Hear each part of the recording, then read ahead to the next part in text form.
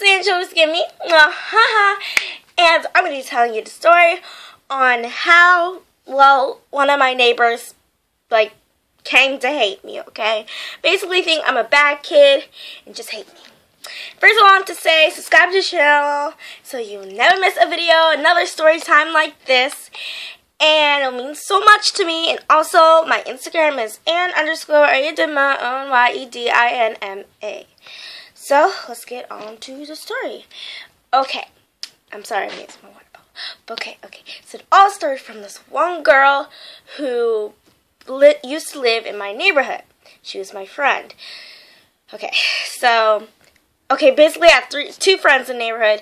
This one girl named Bianca, that's not her real name. And then this other girl named Zoda. That's not real her real name. Okay, so Bianca, she was with one of her other friends, I think, or just some random cousins of her, and they're wearing bathing suits and they're ding dong ditching, like basically everyone's doorbell or whatever, the door. and they even ding dong ditched my house, and I was just like, "What are you doing?" And then my sister, she was she just she knew it was them. She even went outside and she said, "Whoever's doing that is stupid." It, it was kind of funny. Okay, to be honest, it was. And they were outside when they heard her, and they're ding dong ditching, ding dong ditching my neighbor who lived this this from me, like over at my left side over here. And they did not just their door bell too. So they saw it was her, and so they immediately thought she was a bad kid. So they did not like her. And that girl, like Bianca, she even tried. They had kids, and they're like daughters. They're like the same age as her, but Bianca was probably older. And Bianca, even when they were playing outside, she went up to them and she asked if she could play with them. Like a few weeks or a few days after she had ding dong ditched their doorbell. And they said no, that they were busy.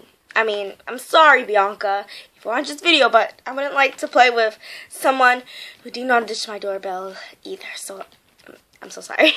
And so then she was playing with Zoda the other girl that I was friends with, and like we were all friends, like we we were just friends.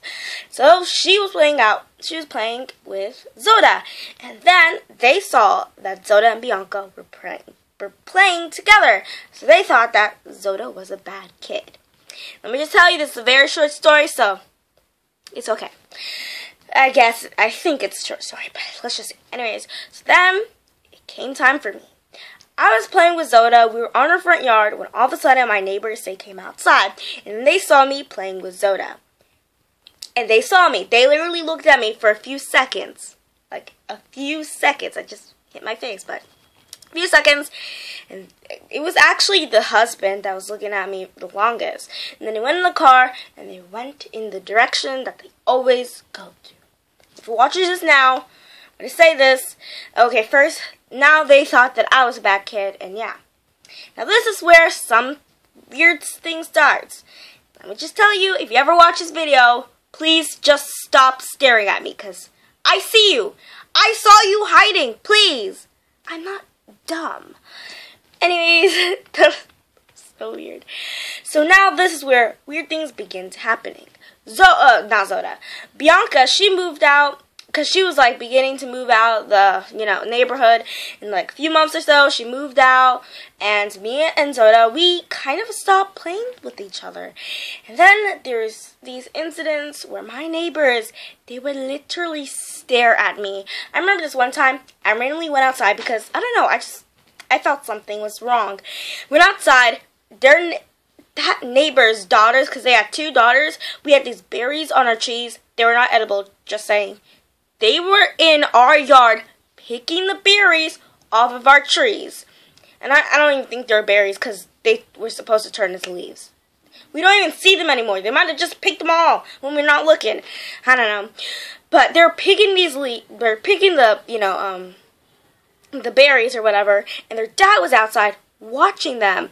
And I was just like, what are they doing? So I went closer, and his eyes looked at me with such an anger. They were just looking at me. They were like, he was just like, that's me. And I was just like, okay, I'm sorry that your daughters are picking boob, I, boob. Oh my gosh, I'm so sorry. I'm sorry that your daughters are picking berries off of my tree, or not my tree, but my bush, and I did not tell them that they could pick the dang berries off of my bush. And then once I came closer to them, they started running and giggling, and I can see the berries in their hands. Their dad, their dad, they were just looking at me. They ran inside their house, and their dad kept staring at me. If you're watching this video again, why?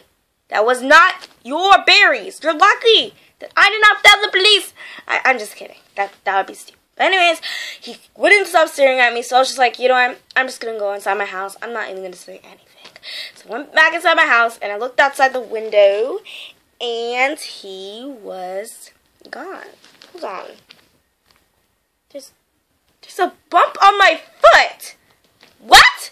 Anyways, okay, on with the next thing. And now this is another incident. I remember that this one time I, me and my mom, we came back from Kroger. We bought a few things, and it was like early in the morning. It was in the summer, and it was actually pretty cool for that morning. That summer was actually pretty cool.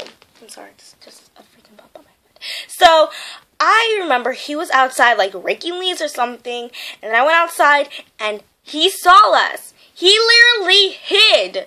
He literally hid, but he hid really stupidly.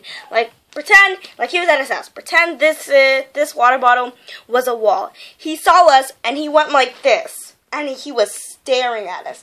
And okay, you know I'm not gonna lie, he was pretty fat, so I could see his belly. That was so mean. Okay, I- am sorry, but he was. I'm sorry. Mm, that that was really rude. That was really rude.